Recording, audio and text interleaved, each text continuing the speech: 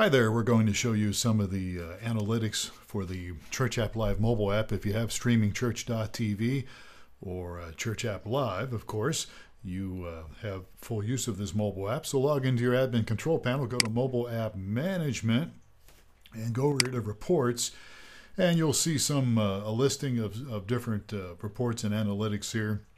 Let's go to app launches, just give you an idea what this is all involving. This will show you uh, the number of times the app has been launched uh, throughout the day. Let's get rid of this deal here. So you see some dates here and it gives you an idea of the times that the app was launched by your users. Now, uh, most of these users, all of these users in this particular case, uh, were not logged in as members, but if you had people that were members, it would give them uh, give you their information, their names and stuff as well. You've also got some app activity reports here, and you can get that by uh, looking at uh, you know the total app launches in the past seven days, total app launches since they started the app uh, many years ago, installs, number of types of people, anonymous people in this case.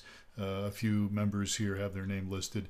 Uh, there's even if they decide to get involved with the prayer activity, you've got some of that going here as well.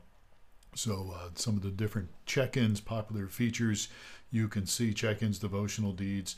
Uh, this will give you an idea of, of what people are, are looking at the most when they use the app, archives here, live stream, the calendar. I think you get the idea. If you have any questions about the Church App Live mobile app, uh, reach out to us. Church App Live, actually, it's support at churchapplive.com. I'm Phil Thompson. Have a great day.